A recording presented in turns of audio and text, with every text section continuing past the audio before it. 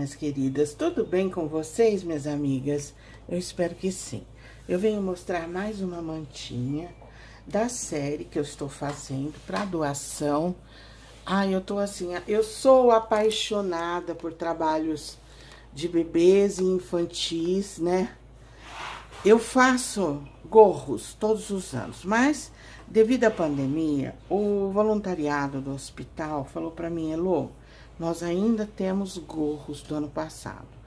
Então, o que, que eu fiz? Eu já fiz 50 gorros e não estou nem divulgando, porque são trabalhos repetitivos, né? Os links do, dos gorros, os vídeos do, dos gorros que eu faço estão no canal, que é o Gorro Felipe, o Gorro do Amor, estão todos no canal. Alguns, é, Ana, eu não me lembro mais os nomes, mas estão no, no canal. E eu tenho diversos. E aí, eu estou fazendo manta para mamães em dificuldade financeira. Então, gente, apesar... Aqui eu estou vendo laranja. No vídeo aqui eu estou vendo laranja. Mas aqui, ele é amarelo. Aí. Eu não sei se eu consegui resolver, mas eu clareei um pouco mais. Bem, essa manta é a manta Heitor, já está no canal, tá? Ó, o que eu gosto, que eu falo, é não ter direito nem avesso. Porque você coloca a criança, de um lado da manta, do outro lado vai aparecer, né? São mantas para doações, mas mesmo assim eu faço mantas grandes. Olha. Que linda. Vocês querem ver o tamanho da bichinha? Ó. Olha, gente. 80 de comprimento e na largura, olha aqui. 50. Então, nós teremos um metro de largura por 80 de altura.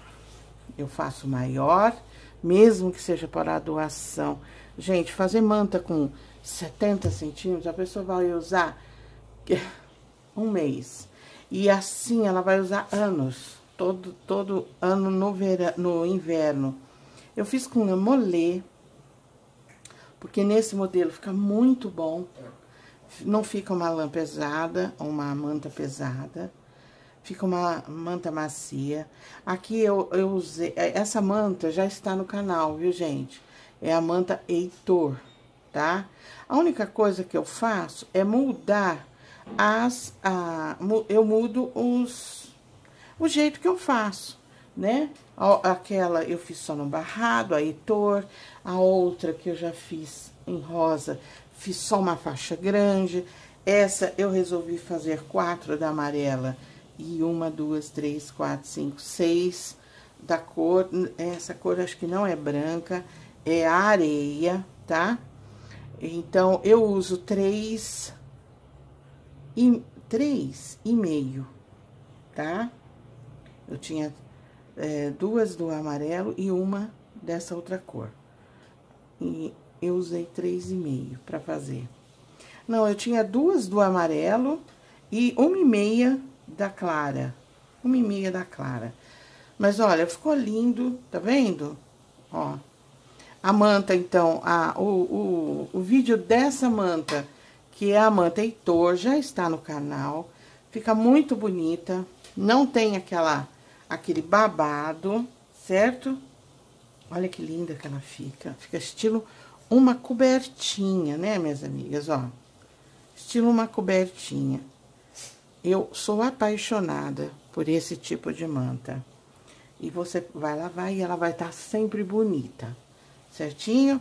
Então, é mais uma apresentação dos meus trabalhos, porque esse vídeo aqui já existe, tá? Eu vou deixar fixado no primeiro comentário, para que vocês possam acessar o vídeo, ok? Muito fácil de fazer, muito simples. É uma pena, mas não pega a cor mesmo, o amarelo. Muito simples de fazer, muito fácil. É, quem falar pra mim que não sabe fazer é, roupa de bebê, é porque nunca tentou.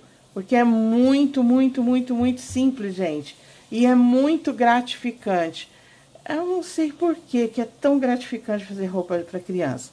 Eu não sei se é o fato da gente imaginar o bebê depois, da gente saber que a gente está ajudando alguém que acabou de vir ao mundo e ele já está conhecendo a solidariedade humana. Eu acho isso maravilhoso, eu acho muito gratificante. E não, não falem assim, ai Luiz, você é muito boa. Não, não sou não. Eu tenho sérios defeitos, todos nós temos, né? Tenho boas qualidades, mas isso aqui é entre eu e Deus, né? Então é isso aí, amigas. Eu espero que vocês gostem, que vocês se divirtam fazendo, né? Quem nunca fez, vá até lá. Quem faz crochê por é, para passar o tempo, para para desestressar, experimentem fazer unir o útil ao agradável. Faça uma mantinha e doe. Faça um casaquinho e doe. Faça um gorro e doe. A lã hoje não é tão cara. Essa aqui rende muito. Experimente. Gratidão.